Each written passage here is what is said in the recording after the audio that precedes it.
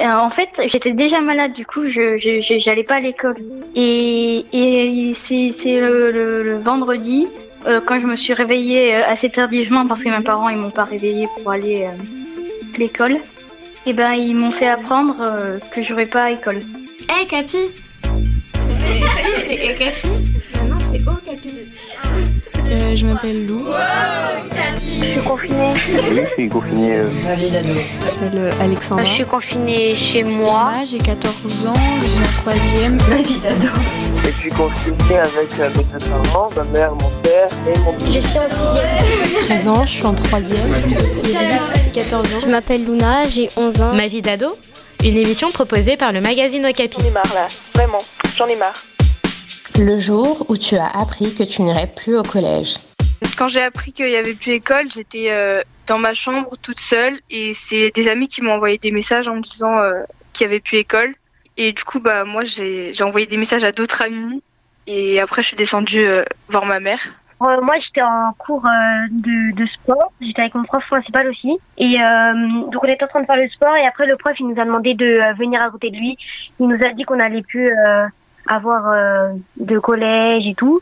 Et euh, moi, j'ai su que j'avais plus faire de sport. Donc, euh, j'ai couru euh, sur tous les agrès. J'ai j'ai commencé à faire, euh, à faire plein de sport euh, pour, voilà. Euh, oui, on était tous en famille. euh, on- on- tout de suite, on a un groupe de classe, on a tout de suite tous réagi dessus. euh. On était, on était en études de 20h à, à 21h à l'internat. Je savais que Macron, il allait parler à 20h.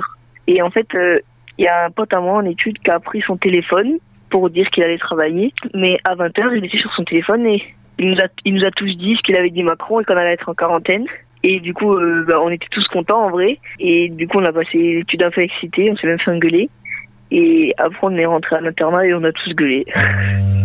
J'étais euh, dans le salon avec toute ma famille, on écoutait la radio, euh, les discours d'Emmanuel Macron. Euh, J'étais chez moi avec mes parents et on attendait, euh, on était à table et on savait que Macron il allait parler, euh, que Emmanuel Macron il allait parler euh, le soir. Donc on a attendu, on a écouté tout ce qu'il avait à dire et puis au bout d'un moment on a entendu euh, qu'on n'avait plus école. Avant, avant même qu'il finisse sa phrase, on avait compris. Euh, oui, oui, moi j'étais euh, dans le salon, j'étais en train de lire, et il y avait ma mère qui était euh, en train de faire je sais pas trop quoi, mais juste ma mère et moi. Et la, radio qui était allumée, on, savait qu'il y avait le discours de Macron à 20h, du coup on attendait. Quand j'ai appris que, que ça, bah, qu'on aurait plus cours, moi j'étais, j'étais content sur le moment, euh, je vais pas le mentir. J'étais plutôt content, j'ai commencé un peu à danser, et ma mère, bah, elle était un peu désespérée. Et ça faisait pas trop plaisir de nous avoir sur la journée tous les jours. Bah, le, le soir, en fait, où Macron il a fait son, son discours, euh, ma, ma petite sœur elle était descendue parce que bah, elle avait fait un cauchemar ou un truc comme ça. Bah, du coup, ma mère, elle lui a dit, et en montant, elle me l'a dit aussi, parce que j'étais en train de lire dans mon lit.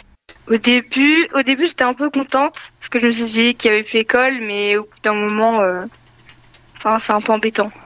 Et puis, euh, on était tous contents parce qu'on s'est dit, il y aura pas d'école, on était trop heureux. J'étais dans un état jubilatoire euphorique, mais en fait, je me suis rendu compte que c'était pas si bien que ça. Ben, parce que finalement, l'école, ça nous occupe quand même pas mal, puis euh, ça nous permet de voir des gens. À un côté, on était un peu content, mais d'un côté, pas trop. Parce qu'on s'est dit, ça va être plus difficile pour nous, enfin, pas pour nous en particulier, pour tous les enfants, euh, de pas aller à l'école et de pas, euh, enfin, de pas sortir aussi. Et que la situation, elle était grave aussi. Je me suis dit, euh, cool, on va pas aller à l'école. Et puis après, je me suis rendu compte qu'en fait, c'était que la situation, elle était grave. J'étais à la fois dégoûtée, mais un peu heureuse. J'ai- J'avais deux, enfin, j'étais mitigée. Bah, moi, j'étais contente. Mon petit frère, il était content, mais déçu. Et mon papa, il s'est inquiété. C'était marrant puisque après, du coup, avec mes potes, on était persuadés qu'ils pouvaient se voir, on pouvait faire plein de trucs et tout. Et bah, parce qu'on ne pensait pas qu'il y avait un confinement en prime.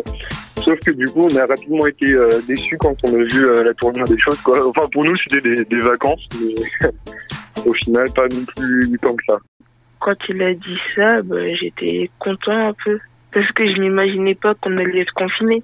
Et maintenant, euh, je regrette un peu. Les jours ont passé, bah, en fait, on était tous tristes de plus se revoir. Et puis, euh, on était un peu, enfin, on était déboussolés parce qu'on s'est dit que on, on a, j'ai le brevet, euh, j'ai le brevet en juin, comme je suis en troisième, et on avait un peu peur de rater. Bah parce qu'on voit personne, on est, enfin, à part les gens de notre famille, qu'on doit travailler tout seul. Mais c'est surtout de, de me priver du dehors. En plus, il fait beau pendant ces jours-là où on est, et, euh, alors que les autres jours il, il pleut et tout ça. Et là, les jours où il fait beau, on peut pas sortir. Au début, on était content. Après, maintenant, un peu moins. On, on est, ça, ça commence à être un peu long et puis ça risque de durer euh, assez longtemps. Bah, au bout d'un moment, ça devient un peu énervant. Moi, l'an prochain, il y a les affectations au lycée, il y a enfin, tout le travail là qui va avec euh, le lycée. C'est un peu dur de s'organiser parce que c'est vraiment pas encore très bien mis en place. Il y a vraiment beaucoup de sites différents, beaucoup de consignes différentes. C'est très dur de s'organiser, mais mais après voilà, ça, ça apprend euh, l'autonomie. C'est toujours mieux quand il y a tes potes à côté. Enfin, moi, je préférerais de revenir avant. Je me suis adaptée. Enfin, on s'est tous adaptés ben, à travailler chez nous au lieu de travailler à l'école. Bah, en fait, on n'aurait pas dû chanter et danser. Merci d'écouter Ma vie d'ado. Un podcast à retrouver chaque semaine sur les plateformes de podcast. N'hésitez pas à faire découvrir cette série à vos amis et à votre famille. Ma vie d'ado, une émission proposée par le magazine Okapi. Hum, juste pour dire que je suis heureuse et je vous souhaite tout le bonheur du monde.